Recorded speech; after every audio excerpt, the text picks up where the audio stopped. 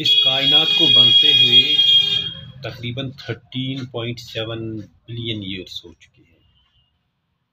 ये मैं नहीं, क्योंकि कुछ एथेंटिक बुक्स कहते हैं। जैसे कि कृष्णा रेड्डी हिस्ट्री की एक बहुत बड़ी किताब है। उसमें that 13.7 billion years ago this universe was created उसके बाद अगर हम इस अर्थ का देखेंगे तो वो पीरियड भी है तकरीबन 4.5 बिलियन ईयर्स अगो बिलियन यानी 100 मिलियन और एक मिलियन टेन लाख के बराबर होता है। One million is equal to ten lakh और ten lakh whatever you will say man जो है इस अर्थ पे देखा गया है कि three point two million years ago archaeologist have found rules और the evidences of first man on earth three point two million years ago in central africa इंसान ने पुराने इंसान के कुछ स्टेज है। जैसे कि पहले को हम बोलते हैं hominids homo means same as it looks like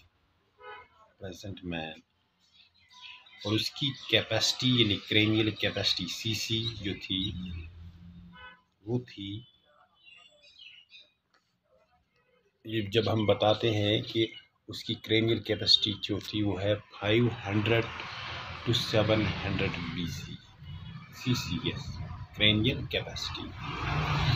उसके बाद और भी जो डेवलपमेंट होगी इस इंसान के जहन में, क्योंकि जब ये ज़्यादा अपना दिमाग इस्तेमाल में लाने लगा तो इसकी क्रेनियल कैपेसिटी इंक्रीज होने लगी whether it may be this for constructing purposes doing good things or doing some sort of having bad ideas but with thinking power making the use of his mind his brain capacity or cranial capacity also got increased तो उसके बाद आया यही होमो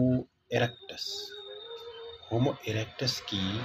cranial capacity जो हम लोग देखते हैं, वो है seven hundred to twelve hundred C ये होमो इरेक्टस वो आदमी था, जिसका पोस्चर सीधे था erect that is he was able to stand and walk और एक तीसरा जो है, वो है होमोसेपिन होमोसेपिन का अगर हम क्रेनियल कैपेसिटी देखेंगे, वो है twelve hundred to eighteen hundred C C इसकी और बाद आया होमोसेपिन सेपिन्स इसी का हम डायरेक्ट डिसेंट भी आजकल के ज़माने में हम बताते हैं कि that we are the direct descendants of this species Homo sapiens sapiens जिसकी क्रेनियल कैपेसिटी मानी जाती है twelve hundred to eighteen hundred और to two thousand B C that is the development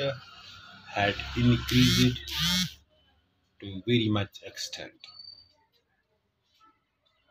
अगर हम मॉडर्न होमोसेपियंस की बात कहें, यानी आजकल के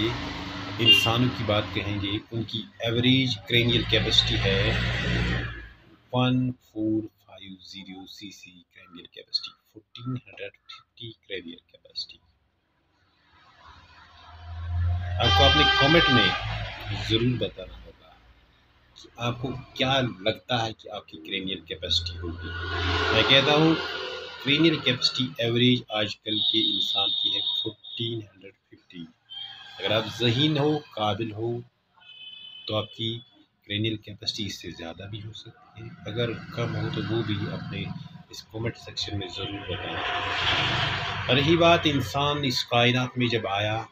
तो अब बात होगी कि हिंदुस्तान में कब आ चुका था, किस रेजी से आया, क्या पानी से या किसी और लैंड रूट से अगर पहुँचा तो हिस्टोरियंस क्या बता दें ये हम डिस्कवर करेंगे हिस्ट्री पढ़ने के साथ ही। उसके बाद, यानी हिस्ट्री का पोर्शन ख़त्म करने के बाद हम पहले जोग्राफ़ी ताकि हम इंडियन जोग्राफ़ी और वर्ल्ड जोग्राफ़ी को ख़त्म करने के बाद फिर आएँगे पॉलिटी पे पॉलिटी का सेक्शन क्योंकि